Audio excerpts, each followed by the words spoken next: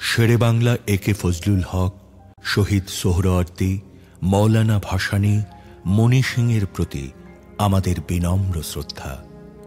আমরা গভীর শ্রদ্ধা জানাই হাজার বছরের শ্রেষ্ঠ বাঙালি জাতির পিতা বঙ্গবন্ধু শেখ মুজিবুর রহমানকে। আমরা শ্রদ্ধা জানাই প্রবাসী সরকারের প্রধানমন্ত্রী তাজউদ্দিন আহমদকে।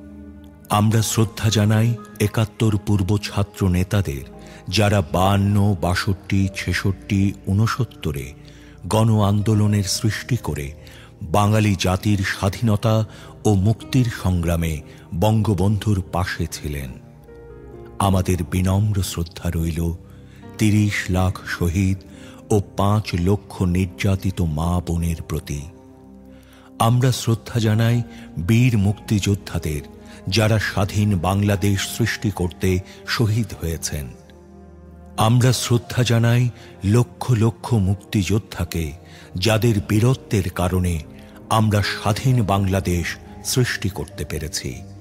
আমাদের গভীর শ্রদ্ধা রইল একাত্তর সালের সেই জনগোষ্ঠীর প্রতি, যারা সীমাহীন কষ্ট ও নির্যাতন ভোগ করে মুক্তিযুদ্ধের প্রতি অনুগত থেকে মুক্তিযোদ্ধাদের সর্বাত্মক সহযোগিতা দিয়ে স্বাধীন বাংলাদেশ সৃষ্টিতে ভূমিকা রেখেছেন। এদের সবার কাছে আমরা ঋণী। হাজার বছরের শ্রেষ্ঠ বাঙালি, জাতির জনক, বঙ্গবন্ধু শেখ মুজিবুর রহমানের কাঙ্ক্ষিত বাঙালি জাতীয়তাবাদী চেতনার বিকাশ, শোষিতের গণতন্ত্র, শোষণমুক্ত, বৈষম্যহীন সমাজ, মানবিক মূল্যবোধ, সামাজিক ন্যায় বিচার সামাজিক, অর্থনৈতিক, রাজনৈতিক সাম্য প্রতিষ্ঠা করে জনগণকে ক্ষমতার প্রকৃত মালিক করে আমরা এদের ঋণ শোধ করতে পারি। আসুন, আমরা আমাদের পূর্বসূরীদের ত্যাগকে স্মরণ করে তাদের নির্দেশিত পথে দেশকে এগিয়ে নিই। জয় বাংলা। আসসালামু আলাইকুম। আমি আবুল হোসেন পিতা মিত্র চান মিয়া মাতার নাম জয়তন্যাসা গ্রাম দিয়াসরাম গাজীপুর, সদর গাজীপুর। আমি উনিশশো ছেষট্টি সনে বঙ্গবন্ধুর সাথে সাক্ষাৎ হয়েছিল। বঙ্গবন্ধুর বাসভবনে সাক্ষাৎ হয়েছিল। এই মরহুম হাবিবুল্লাহ সাহবা ছিল যদপুর সদরে। ওনার সাথে গেছিলাম। উনিশশো উনসত্তর সনে সংগ্রাম আরম্ভ হইল। সত্তরে নির্বাচন, সাতই মার্চের ভাষণে উদ্বদ্ধ হইয়া পরে যুদ্ধ অংশগ্রহণ করি। আপনার বয়স কত ছিল তখন? আমার বয়স তখন ছিল বিশ একুশ। কীভাবে যুদ্ধে কার মাধ্যমে গেলেন? গেলাম আমি এলাকার আরও দুই চারজন লোক ছিল তাদের সাথে। নাম কি তাদের? একজনের নাম হলো নূর আলম চৌধুরী আমার group commander Musharraf Chowdhury. Two IC এদের সাথে গেছি আবার এদের সাথে গ্রুপে আসছি। আমরা গেলাম নাগরি হইয়া তার গাছ হইয়া তারপরে গেলাম আমরা ভারতে, ত্রিপুরায়। ত্রিপুরা রাজ্যে যাওয়ার পরে কংগ্রেস ভবনে গেলাম। কংগ্রেস ভবনতে আমগরে পাঠাইলো, আবার হাপাইনা হাপাইনা রইলাম সপ্তাহখানিক পরে গেলাম গোকুলনগর। ওখানে আবার আমগো ওই যে ক্যাম্পশিপ ছিল মুজামুল সাহ যে মুন্সি ওনার ওনার ক্যাম্পে, ওনার এখানতে আম করে আবার ট্রেনিংয়ে পাঠাইলো অম্পিনগরে। ওখানে ট্রেনিংয়ের পরে পাঠাইলো আবার হেজামারায়। ওনার এখানে রইলাম ইয়ার দিন পনেরো পরে আম করে পাঠাইলো সিলেট সামনাসামনি যুদ্ধের জন্য। ওখানে গিয়া যুদ্ধ করলাম এখানে দুই যুদ্ধ হওয়ার পরে মারা গেল মুক্তিযুদ্ধ এগারো জন। কারও নাম মনে আছে? হ্যাঁ একজনের নাম মনে আছে। বাড়ি কাজীপুর কালিয়াপুরে তার নাম হইল আমার এলিমজি টুমেন ছিল সে করিম। সিলেট কোন জায়গায় ওই জায়গার নাম আমরা বলতে পারব না। ওখানটা আবার ক্লোজ করে আনলো। আইনা কয়েকদিন রইলাম।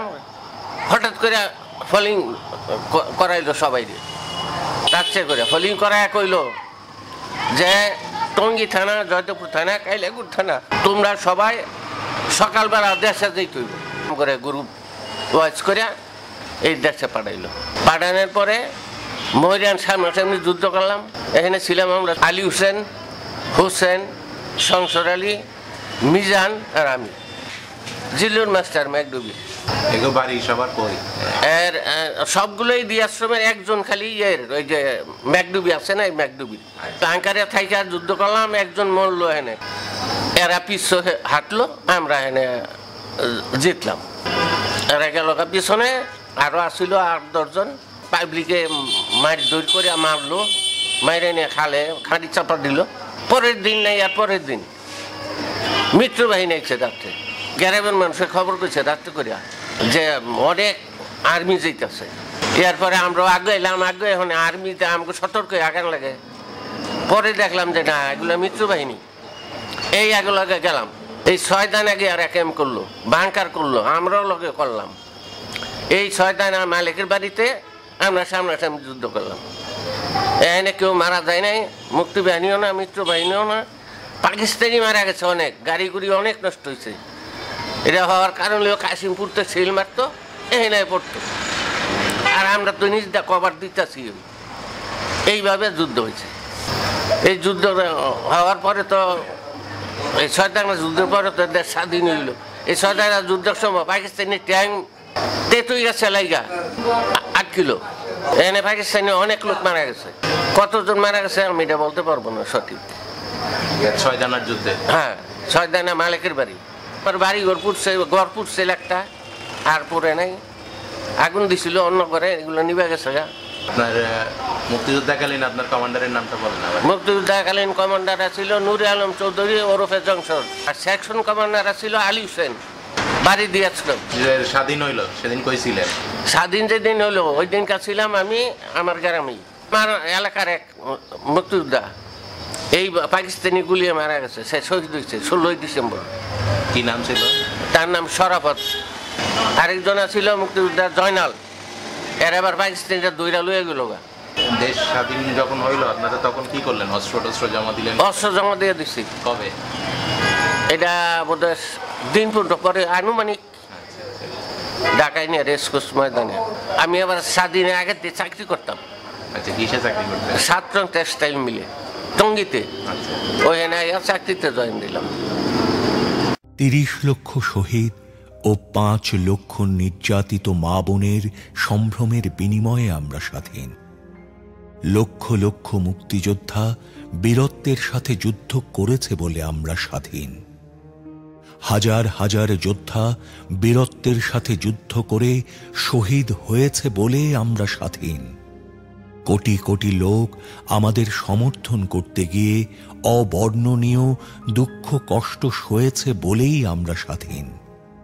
হাজার বছরের শ্রেষ্ঠ বাঙালি, জাতির জনক, বঙ্গবন্ধু শেখ মুজিবুর রহমানের কাঙ্ক্ষিত বাঙালি জাতীয়তাবাদী চেতনার বিকাশ, শোষিতের গণতন্ত্র, শোষণমুক্ত বৈষম্যহীন সমাজ, মানবিক মূল্যবোধ, সামাজিক ন্যায় বিচার সামাজিক, অর্থনৈতিক, রাজনৈতিক সাম্য প্রতিষ্ঠা করে জনগণকে ক্ষমতার প্রকৃত মালিক করে আমরা এদের ঋণ শোধ করতে পারি।